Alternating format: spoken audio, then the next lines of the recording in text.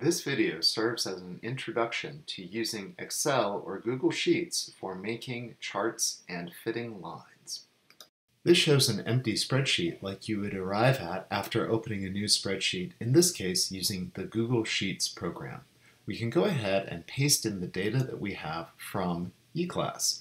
This will give us our mass values and our extension values. And one of the first things we can do is actually tell the program what those are by saying insert a row above, grabbing this little header bar down, and typing in column headings. So this will allow us to use this information. Uh, extension. Okay, so given these two pieces of information, we can go ahead and navigate around the formula. We need to transform these values into uh, different values using unit conversions. For example, the table uh, for your submission wants mass in kilograms. And we can do this by entering Excel's uh, or Google Sheets formulas. And formulas rely on the idea that a spreadsheet has a coordinate system given by the column headings, here shown as letters A, B, C, and D, and here in the row headings shown as numbers 1, 2, 3, 4, etc. So to refer to a specific cell, we just refer to it by its coordinates. And so if I want to take the entry here in cell A2, I can transform that into the mass of an object in kilograms using a formula. And you always start formulas with an equal sign, and then enter in the coordinate of the cell you want to manipulate, in this case A2. And then we want to divide that number by 1,000 to turn it into kilograms. And we use the slash uh, symbol here for division. So that allows us to just directly turn this into kilograms. Now, I could be lame and go ahead and type A3 over a 1,000 here and keep entering all these values on down. But spreadsheets are smarter than that. They know that if you have a value in one entry in a column, then the entries below are going to refer to the same uh, formula applied to just using a different entry in the row. So if I go ahead and I copy the formula here and then paste it through this range of cells, what it will do is it will propagate and change the column and row entry for the cell used in the formula and carry that on down. Sometimes you don't want that. Sometimes you want to refer to a specific cell. So let's say we want this cell to be equal to A2 divided by 1,000, but we also want this cell to be referring to A2 divided by 1,000. If we pasted it on down, it would match and refer to A3. But instead what we're going to do is we're going to put dollar signs in front of the column and or the row. And what that will do is it will lock the reference in place. And if I copy and paste that on down, I get the same formula every time. So we don't really need that information, but what we do need to do is to transform the force uh, here into uh, from kilograms into newtons. So if we use the for or the we'll call it the weight in newtons, we're going to take the mass in kilograms and multiply that using an asterisk times 9.81. And if we paste that on down, we have the weight in newtons, and we can get the extension in meters by taking the value here in the extension in centimeters and dividing that by 100. Again, copy and paste it on down, propagating the formula all the way on down. Uh, the math functions that you'll need to know are uh, slash for division, asterisk for multiplication. You can exponentiate uh, by taking a number and using the caret uh, symbol, so that will square the value in entry A2. And then plus and minus are going to be uh, just a plus sign or a minus sign respectively. The next thing we need to worry about is how to insert a chart.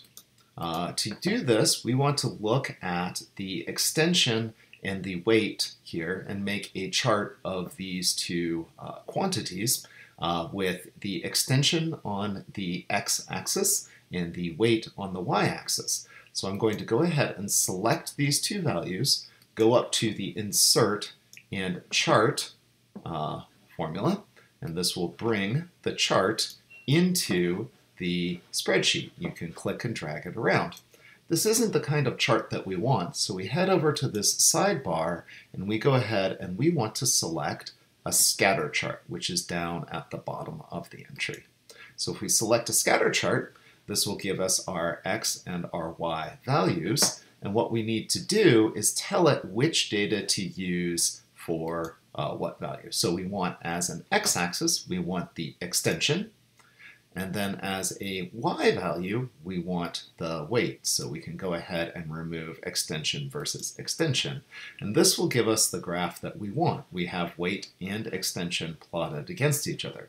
The y value is the weight, the x value is the extension.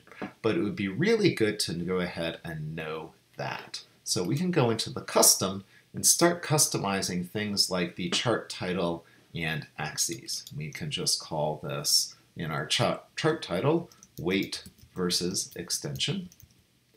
And then if I want to change the axes titles, I can go ahead here and navigate through. I want the horizontal axes to call extension here in meters. Remember to always include units.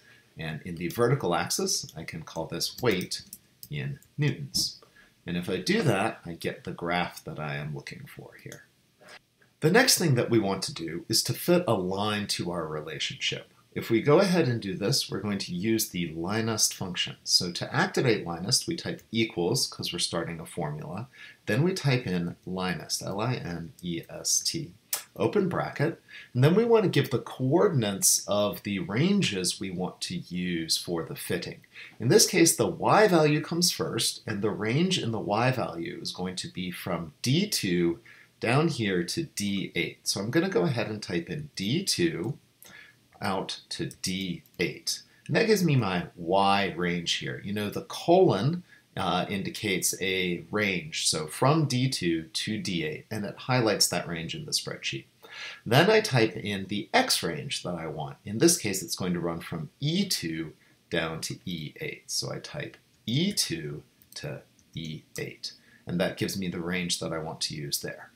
Then I'm going to go ahead and hit the bracket and that's going to give me the slope, so 42.078 newtons per meter, and the intercept, which is going to be minus 0.47 uh, newtons. And so that's all good, but we don't have any uncertainties in our values. To get those uncertainties, we need to go back into our linest formula and add in two statements, true, comma, true. And you just type tr comma true, comma true, and that'll give us the full set of information about linest. The first true says to keep fitting the y-intercept of the relationship, and then the second true says give me all the information.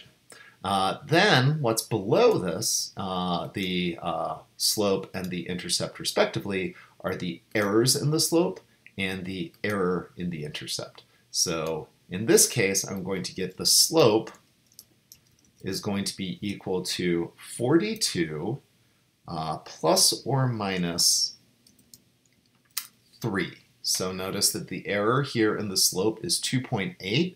One significant digit on that is 3, and I'm going to round my slope to the same number of significant digits as are in the error. So 42 plus or minus 3 is the slope, and then the intercept in this relationship will be minus 0.47 plus or minus 0.08. So the 0.8 is going to be one significant digit, and then I round the 0.47 to the same number of significant digits. So the correct answer for the intercept is going to be 0.5 plus or minus, uh, 0.8. The last thing that I want to do is to add a trend line to my graph. So if I double click on my graph, that'll open up the sidebar here with more information about it. And if I select the series entry and scroll down, I find a button that's labeled trend line. And so if I plot the trend line, I get several options around it. We want a linear fit, so that's already set to the default, and some information about it, and then we can go ahead and put that line straight on the data. if you actually go ahead and say use equation for the label, that puts a legend here and it shows that we get a line that has the same slope, 42.07 or 42.1, and trend line, minus 0.471 as what we're using in our equation. So we should always include that trend line when we do a fit, just to see how it goes through our data.